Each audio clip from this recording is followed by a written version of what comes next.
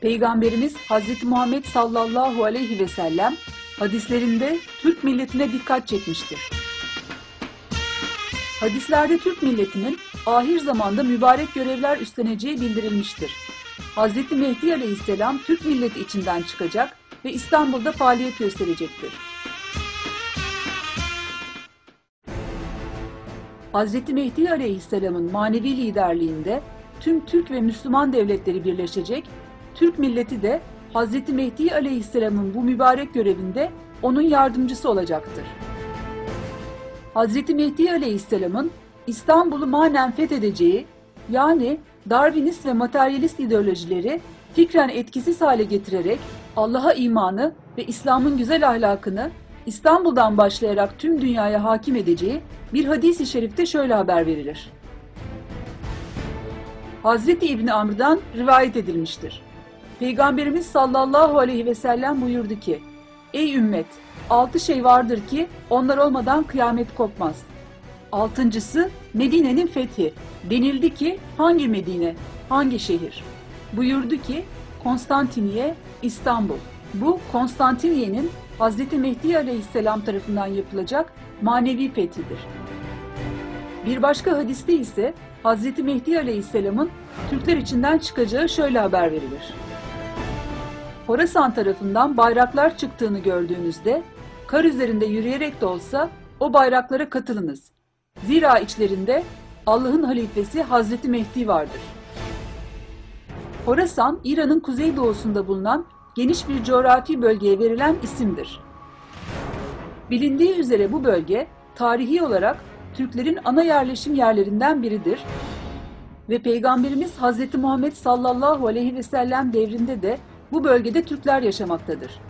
Hadiste yer alan Horasan'dan gelenlerin içlerinde Allah'ın halifesi Mehdi vardır ifadesi Hz. Mehdi aleyhisselamın Türkler içinden çıkacağının açık ve net bir ifadesidir. Peygamberimiz sallallahu aleyhi ve sellemin Türk milletine işaret eden bir diğer hadisi ise şöyledir. Bir ulus, bir nalbantın bir okun ucunu bilemesi gibi bilenecektir. Gözleri vahiy ile aydınlanmış, kulakları tefsirle doymuş ve bilgelik kadehleri gece gündüz onlara sunulmuş olacaktır. Bir ulus, bir nalbantın bir okun ucunu bilemesi gibi.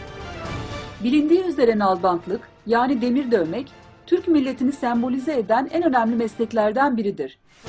Nitekim Türk tarihinin önemli günlerinin anma ve kutlamalarında demir dövme törenleri yapılması Göktürk Devleti'nden bu yana gelen bir gelenektir. Peygamberimiz Hazreti Muhammed sallallahu aleyhi ve sellem de burada demir döven bir ulustan yani Türk milletinden bahsetmektedir. Bak Resulullah'tan hadis sallallahu aleyhi ve sellem. Bir ulus, Türk ulusu inşallah.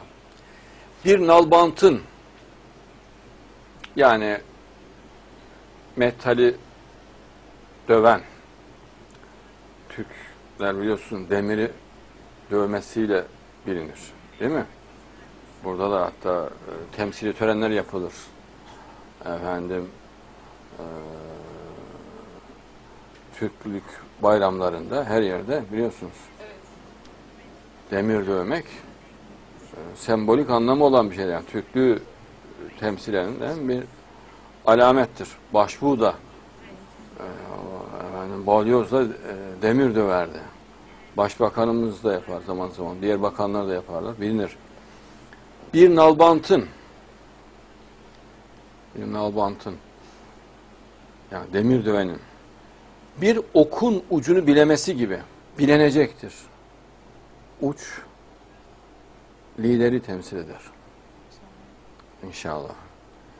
Bilenecek yani hamiyeti İslamiyesi gelişecek. İslam'a sahip olma, İslam'ı koruma güdüsü, duygusu bilenecek, şiddetlenecek. Gözleri vahiy ile aydınlanmış, kulakları tefsirle doymuş. Peygamberimiz sallallahu aleyhi ve sellem Türk milletinin Kur'an-ı Kerim ayetleriyle yani Kur'an'ın ruhuyla ve Kur'an ayetlerinin en hikmetli şekilde tefsir edilmesiyle aydınlanacağına dikkat çekmektedir. Gözleri vahiy ile aydınlanmış. Yani vahyin e, gözle meydana getirdiği akıllı anlam. Kulakları tefsirle doymuş. Kur'an'ın güzel tefsiriyle anlamlı, doyurucu, doğru, e, mantıklı, tutarlı tefsiriyle doymuş. Bilgelik kadehleri gece gündüz onlara sunulmuş olacaktır. Hadisin bu bölümünde Peygamberimiz sallallahu aleyhi ve sellem iki önemli ifadeyle iki duruma işaret etmektedir. Birincisi, Türk milletinin Kur'an-ı Kerim tefsiriyle olan rahmani aydınlanmasının gece ve gündüz olacağını, yani bazen gündüz, bazen de gece vakitlerinde manevi olarak derinleşmelerine vesile olacak bilgiler öğreneceklerini söylemektedir.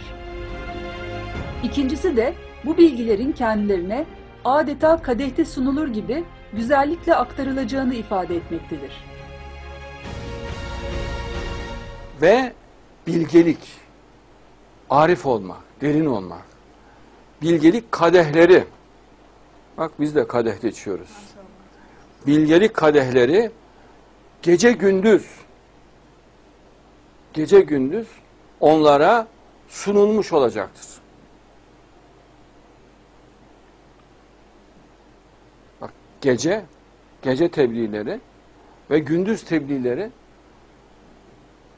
kadehe dikkat çekerek Peygamberimiz söylüyor. Kadeh de sunulur gibi sunulacaktır diyor.